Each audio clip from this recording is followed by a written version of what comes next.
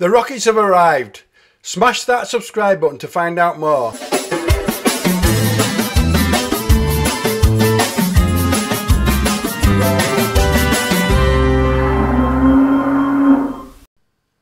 Today's a big day. We have two rockets arrived on the farm. Anyway, more about that later.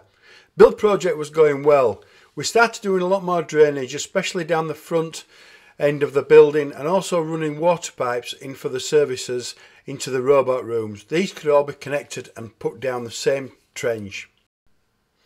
We had to find a way on how to get the milk tube or the milk pipe from the robots all the way round to the dairy or the tank room which was about 50 metres away we decided to do this underground and all the services for the robots and all the airlines etc would all be run down the same same pipe underground. Doing this also prevented things from sort of crossing the buildings which could be caught with tractors which would be dangling down which obviously looks very untidy. This was quite a job in itself. Running the pipe was straightforward but actually getting the pipes through uh, the milk tubes through the actual underground pipe was an absolute nightmare.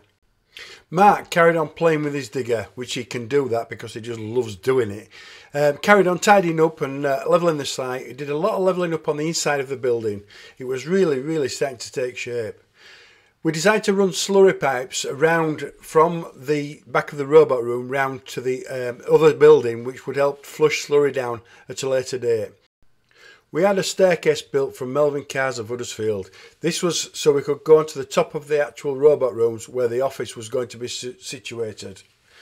We built the office simply in a box shape out of uh, stud work. It's fairly simple, straightforward. Uh, we decided to put a window in the front so obviously when you sat up there doing the computer work for the cows we could look out and uh, monitor the cows continuously. A safety rail was put together around the top of the robot rooms. Obviously, we didn't want anybody to fall off. And also, once the staircase is fitted, it makes a great storage platform too. We did insulate the office as well and cover it with uh, tin sheets. As we built the robot rooms in concrete blocks, we needed to keep these clean, so we decided to cover the walls in what they call dairy coat, which is a resin mixture. Also doing the floors as well, sealing all the concrete up, making it easier for clean down at a later date. Also, Red Tractor would approve of this because the walls are obviously washable. The Collinson Cone Towers arrived. These looked like rockets when they were laid on side of the wagon. Incredible sight seeing it coming down the road. People must have wondered what they were. The new 10,000 litre milk tank arrived from Fabdec. We had to fit it into the purpose-built tank room. It was a tight squeeze but it did go in. The engineers from Lely were now on, on site and trying to fit everything together. As I mentioned earlier on, dragging the actual services from the tank room to the robots was an absolute nightmare. We ought to have put 6 inch pipe in instead of 4. It would have made things a lot easier. Things were really, really starting to come together now.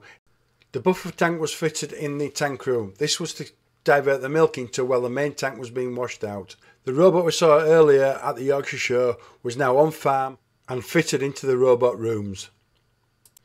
Stage one of the build was actually almost complete. It's all the finishing off that seems to just take forever. Hit the subscribe button to be notified of part 7.